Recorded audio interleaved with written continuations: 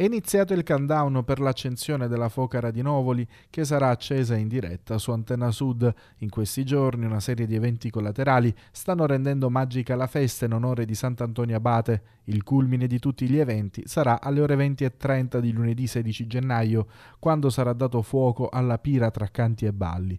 A precedere l'evento sarà lo spettacolo Taiko con la regia di Paolo De Falco, un viaggio nel mondo degli antichi tamburi giapponesi utilizzato in passato nelle pratiche di rituali di sciamanesimo. Quest'anno molta legna sta arrivando dalle zone di Leverano e dobbiamo ringraziare veramente Leverano per il contributo che ci ha dato. Ai piedi della Fogara, in giro alla Fogara, stiamo mettendo delle foto delle fogare antiche, dai primi del 1900 ai giorni nostri. Sarà veramente una cosa molto bella che spero avvicineranno i giovani a questa tradizione per far capire loro effettivamente come si realizza la Focara, come è stata realizzata, da dove siamo partiti. Eh, tengo a precisare eh, il Comune di Novole eh, insieme alla provincia di Lecce e alla Regione Puglia ogni anno eh, l'hanno fatto da padroni.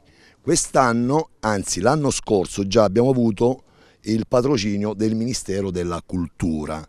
Quest'anno abbiamo eh, proposto il nostro progetto molto bello, il Ministero del Turismo ha valutato il nostro progetto e l'ha valutato in maniera abbastanza positiva, diciamo, ecco. È un bel riconoscimento per il Comune di Novoli